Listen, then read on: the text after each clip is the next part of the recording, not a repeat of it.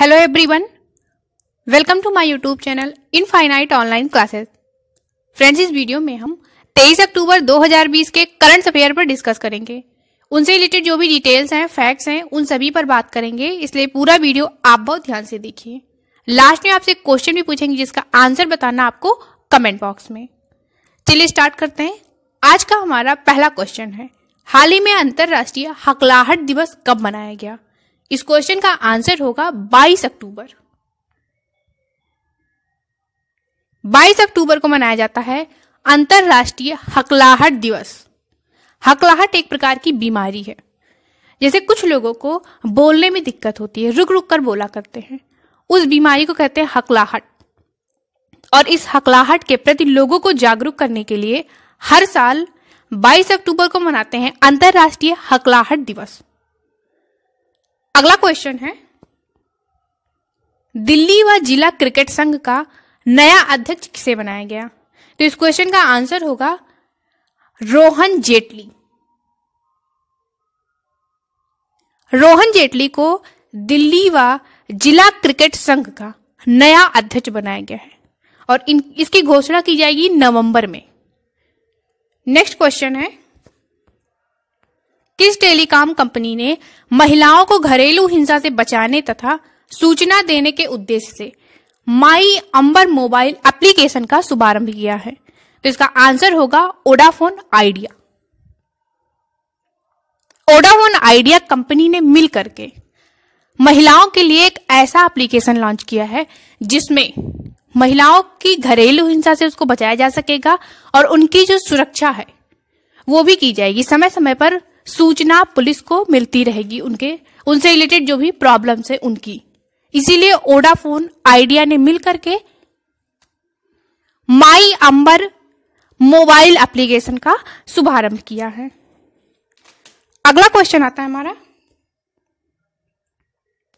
Delhi Capitals के पल्लेबाज Shikhar Dhawan IPL के इतिहास में लगातार कितने शतक बनाने का एक नया रिकॉर्ड बनाया है। तो इसका आंसर होगा दो शतक। शिखर धवन ने दो शतक बना करके आईपीएल के इतिहास में एक नया रिकॉर्ड दर्ज किया है। और ये किसने किया है? शिखर धवन ने। दिल्ली कैपिटल्स के पल्लेबाज जो हैं, शिखर धवन, इन्होंने आईपीएल में एक नया इतिहास रचा है और दो शतक बनाए हैं। इन्होंने पंजाब के खिलाफ आईपीएल 2020 के अड़तीसवें मुकाबले में सत्तावन गेंदों में दो शतक बना दिया है और इसी के साथ इन्होंने एक नया रिकॉर्ड भी दर्ज किया है। हमारा अगला क्वेश्चन आता है। हाल ही में ओईसीडी की रिपोर्ट के अनुसार कौन सा देश शीर्ष पर रहा है? तो इसका आंसर होगा चीन। अभी ओईसीडी ने एक नई रिपोर्ट जारी की है। और इस रिपोर्ट में यह बताया है कि जितना भी दुनिया भर में देश है, उन सब में जो सर्वे किया गया है, उसमें चीन देश सबसे एक नंबर पर है। अगर हम बात करें ओईसीडी की तो इसकी फुल फॉर्म है ऑर्गेनाइजेशन फॉर इकोनॉमिक को ऑर्गेनाइजेशन डिपार्टमेंट। यही इसकी फुल फॉर्म है। और ये करता क्या है कि इसमें जो सर्वे होता है कि पूरे विश्व के जो जितने भी देश हैं, उनमें प्रवासी लोग कितने हैं? मतलब उस देश के नागरिक कितने हैं और प्रवासी लोग कितने हैं? तो इस मामले में चीन देश सबसे आगे है। चीन में सबसे ज़्यादा प्रवासी लोग निवास करते हैं और उसके बाद आता है अपना देश, भारत देश। अगला क्वेश्चन है, भारत का पहला राज्य कौन सा बना है जहाँ आत्मनिर्भर भारत प्रशिक्षण केंद्र खोला गया है? इसका आंसर होगा मध्य प्रदेश। मध्य प्रदेश में आत्मनिर्भर भारत प्रशिक्षण केंद्र खोला गया है।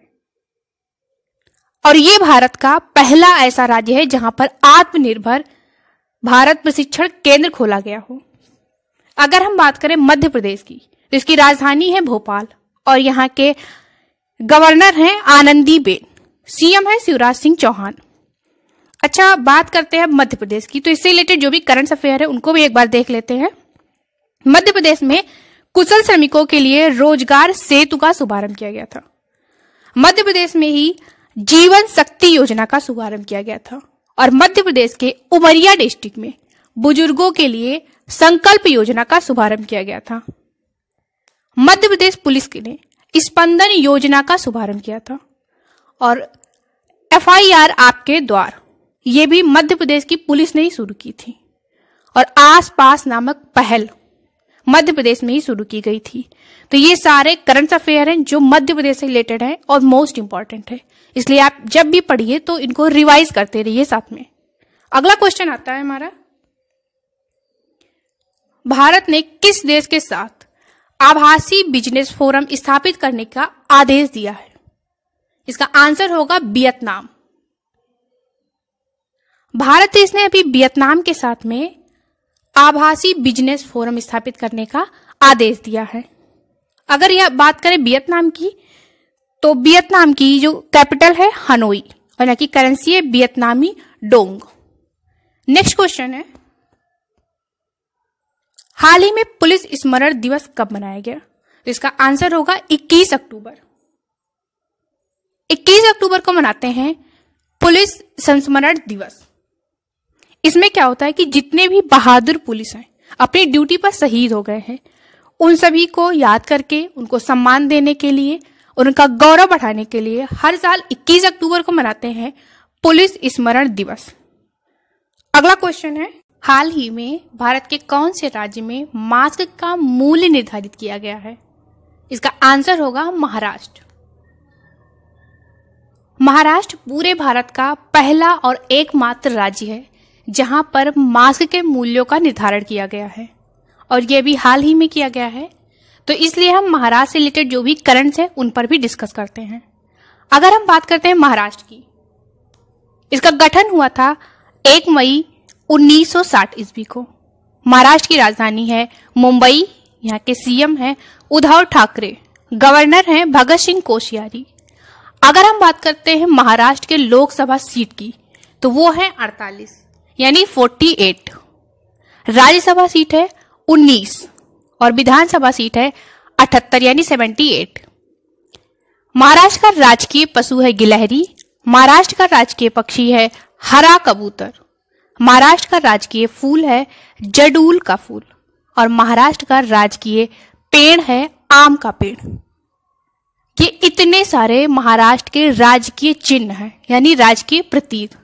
अब हम बात करते हैं महाराष्ट्र के राष्ट्रीय पार्क पर, यानी नेशनल पार्क पर। तो महाराष्ट्र में है Chandoli national park, Gugamal national park, Navegaon national park, Tadoba national park और संजय गांधी नेशनल पार्क।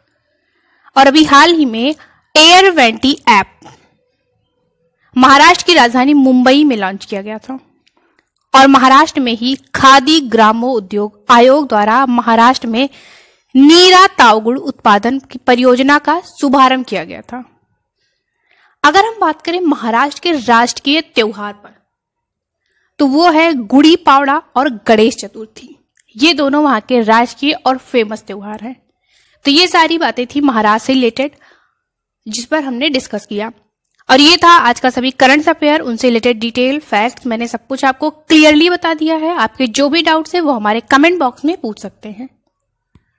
अब हम आपसे पूछते हैं आज का सवाल, जिसका आंसर बताना आपको कमेंट बॉक्स में। हमारा आज का सवाल है, हाल ही में किस राज्य में हींग की खेती का शुभारंभ किया गया है? इस क्वेश्चन के चार ऑप्शन हैं। सही ऑप्शन चुन के आपको कमेंट बॉक्स में बताना है और आंसर से रिलेटेड जो भी चीज़ें आपको पता है, वो सारी चीज़ें डिटेल के साथ वहाँ पर लिखनी है। ये थे आज के सभी करंट अफेयर अब हम मिलते हैं नेक्स्ट डे नेक्स्ट टॉपिक के साथ।